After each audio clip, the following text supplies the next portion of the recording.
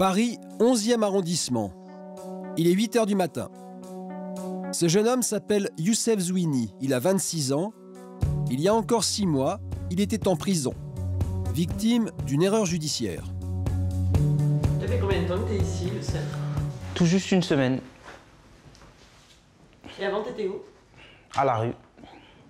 Je passais mes nuits euh, au café de la gare Montparnasse, qui est un café où on peut rester euh, toute la nuit, à consommer un café à 2-3 euros, et puis ça me permettait d'être euh, au chaud. Même si je dormais pas, au moins j'étais au chaud.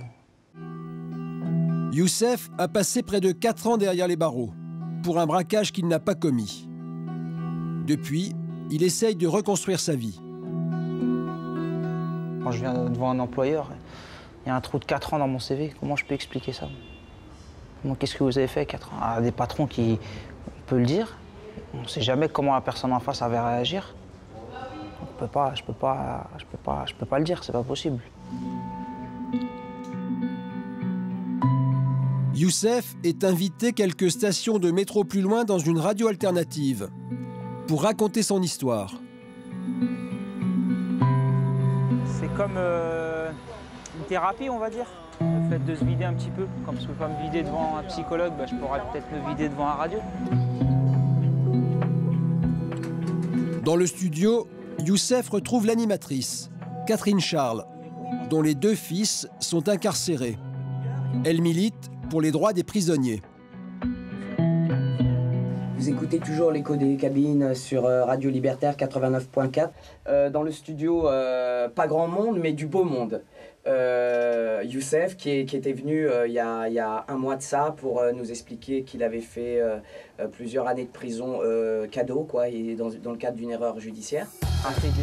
Temps. Au micro, Youssef raconte son histoire. Une histoire qui commence ici, à Nantes, dans la cité Malakoff. Nous sommes au mois d'octobre 2004, c'est la veille d'Halloween. C'est à cause d'un masque comme celui-ci que Youssef va se retrouver accusé d'un crime qu'il n'a pas commis. C'est un petit du quartier qui me l'a donné le soir d'Halloween, ou un jour avant. Et puis euh, je m'amusais avec euh, le soir de. Enfin, ce, week-end-là. Et puis j'ai croisé un- une personne qui n'est qui pas originaire de ce quartier, mais qui vient euh, traîner dans ce quartier. Et qui, est tombé amoureux de mon masque lorsqu'il m'a vu avec et déliré avec. Et du coup, il avait envie d'en profiter euh, et d'aller faire peur un peu à tout le monde dans, dans la rue. Et puis, une fois que je lui ai passé, euh, c'est ce qui m'a conduit tout droit en prison et qui a fait que j'ai été condamné par une cour d'assises à 10 ans de prison, puisque ce masque-là a servi à un braquage. En effet, quelques heures plus tard, dans la nuit, trois hommes masqués et armés de fusils à pompe prennent en otage les employés d'un supermarché pour s'emparer de la caisse. Un des braqueurs porte le masque de Youssef. Les policiers trouvent son ADN. À 7 heures du matin, la police vient l'interpeller au domicile de sa mère. Je dormais dans, mon lit. J'ai entendu des, gros bruits, euh, des cognements. Ça m'a réveillé, mais je pensais pas que ça venait de chez moi.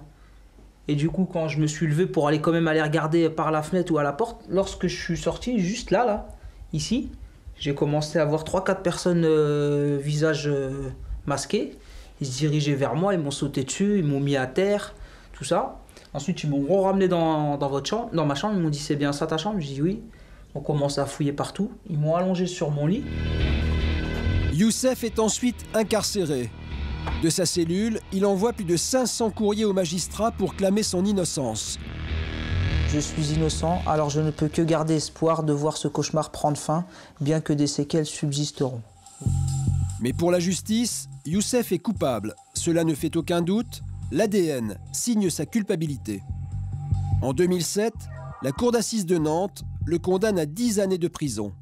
Sa mère est bouleversée. Franchement, je j'arrive pas à le parler. J'ai fait comme une crise, euh, j'ai resté gardée comme ça. J'arrive pas à le parler.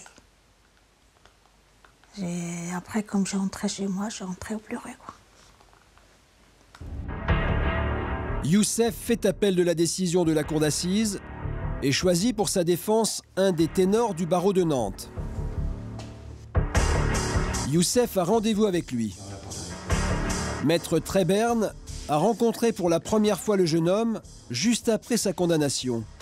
Très vite, il est convaincu de son innocence. Dans ce dossier, il y avait quand même plein d'éléments à charge. Ses origines, le fait qu'il connaissait les auteurs euh, de, ce, braquage, le fait qu'on ait trouvé à un moment donné un ADN sur un masque qui aurait été utilisé sur les lieux du braquage. Voilà, bon, tout ça, ça suffit. Ça suffit à occulter quoi? Bah, Les éléments objectifs qui démontrent que ça ne peut pas être lui. Je me souviens, il m'avait dit si c'est vraiment la vérité tout ce que vous êtes en train de me dire. En fait, il m'a dit je vous crois, parce que le ton dont, dont vous me parlez, je vous crois. Ton discours pour content. Ce qui sauve Youssef, c'est son portable. Car au moment du braquage, il était chez lui, en communication avec sa petite copine. Ils vont confirmer qu'effectivement, et comme il avait l'habitude de le faire la, la nuit, notamment à cette période-là, il appelait très très longuement, etc. Donc c'était bien lui qui avait appelé cette nuit-là, de son portable. Il ne pouvait pas, euh, par conséquent, être sur les lieux d'un braquage avec prise d'otage. Voilà, c'est aussi simple que ça. Aujourd'hui, avec son avocat, Youssef demande réparation à l'État pour les 36 mois passés en détention. La plupart des hypothèses ces derniers temps, puisque j'ai fait plusieurs requêtes comme ça, ce qu'on a obtenu, c'est, on va dire, euh, pour, par exemple pour des garçons de la banlieue, un gros 1000 euros par mois de prison effectuée à tort. Youssef devrait donc toucher 36 000 euros dans environ un an. Mais il espère plus et plus vite. J'ai assez perdu de temps, madame. Moi, ça fait 4 ans. 4 ans que j'ai pas pu me construire. Je vais pas attendre encore une année pour pouvoir me reconstruire. Là, je suis en liberté. Maintenant qu'on puisse me- me- me- m'aider dès maintenant.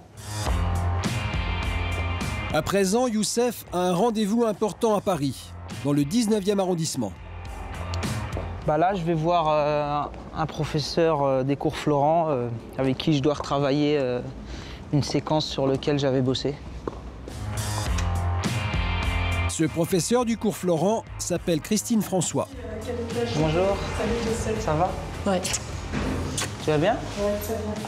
Très jolie cette nouvelle coiffure. Au fil du temps, elle a tissé des relations d'amitié avec Youssef. Elle croit en lui. Euh, Youssef est arrivé cet été au cours Florent dans un stage. Premier jour, euh, je vois arriver, bon, il y avait une quinzaine de jeunes, gens, enfin entre 20 et 40 ans. Voilà, il était parmi eux et il, était, il avait une espèce de présence très calme, très souriante, très à l'écoute, très bienveillante. Enfin, vraiment une espèce de grand sourire comme ça. Et je me disais, est-ce que ce gars, il a, il a un truc, il a, il a quelque chose.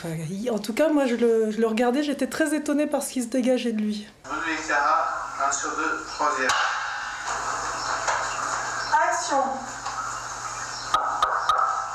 Aujourd'hui, Youssef aimerait devenir comédien.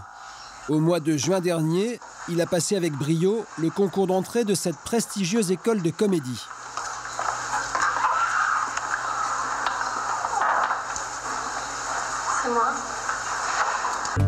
Youssef travaille aussi à l'écriture d'un scénario sur l'histoire de son erreur judiciaire. J'écris, euh, bah, en fait, tu vois, j'écris sur un petit cahier de brouillon. Ouais. et je retranscris ça après. euh, je retranscris ça sur mon ordinateur. Je pourrais avoir envie, enfin là on s'est un petit peu déjà parlé, et puis je- j'en ai aussi parlé à un autre ami réalisateur, on pourrait avoir envie d'essayer de reconstituer son histoire, mais il jouerait son propre rôle. Donc on partirait de son récit pour trouver des, son- des scènes clés qui sont hallucinantes, et on ne chercherait pas à les transformer, on chercherait à les, à les, à les rejouer. Dans quelques années, Youssef jouera donc peut-être son propre rôle à l'écran.